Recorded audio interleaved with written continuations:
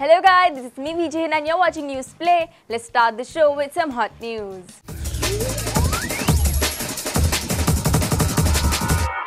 Singer Rihanna big villain के रूप में नज़र आएँगी रिसेंटली हॉलीवुड फ़िल्म बैटलशिप में डेब्यू करने के बाद रिहाना नज़र आएँगी द फास्ट एंड फ्यूरियस में एज अ विलन बैटलशिप में रिहाना की परफॉर्मेंस को काफ़ी ज़्यादा पसंद किया गया है और इसी वजह से fast and the furious six के लिए रिहाना को लीड रोल में कास्ट कर लिया है।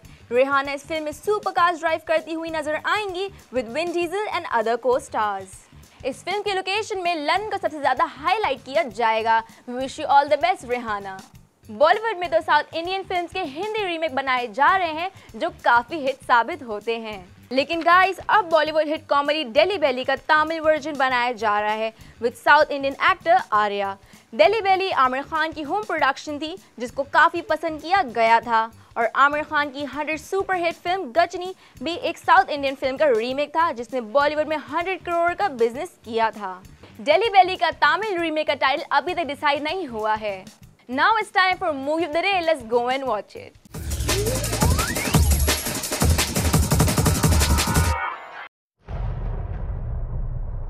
My name is Alan White. I'm a widower, I guess. After my wife passed away, things in the house started to become very odd. Honestly, I started to get really concerned for the safety of my kids. We moved to this place, and everything was fine. And then it all started again. Man, looks like any old building. Here they all do. Check one, two. Let's talk about why you got in touch with the Institute. I just want to know how we ended up in a haunted house. What did I miss?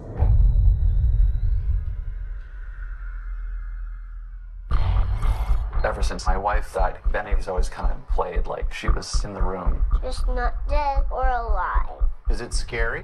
Yeah.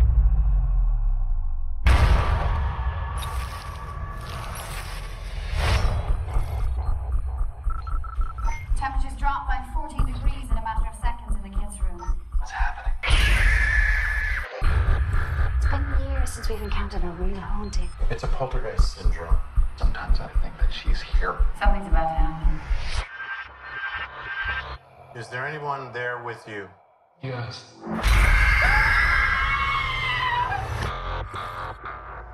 Look, I don't care what you call it. There's something weird just living here.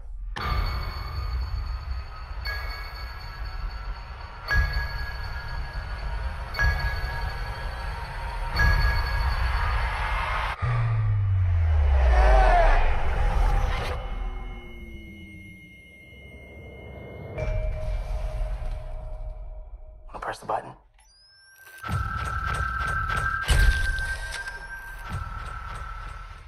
हर नौजवान की ख्वाहिश होती है कि वो अपनी life में कुछ बड़ा करे, अपने आप को मनवाए। लेकिन ये सिर्फ़ उस सूरत में हो सकता है जब अपने टैलेंट को पहचाने। और फिर हर रुकावट को पीछे छोड़ के पूरी कमिटमेंट के साथ अपने मकसद को पूरा करने की कोशिश में लग जाए। जैसे कि किया इस superstar youth icon Atif Aslam ने। यही था आज तक एपिसोड आई होप आप लोगों को बहुत अच्छा लगा होगा. Till then this me Vijay signing out keep watching Play TV live life and love music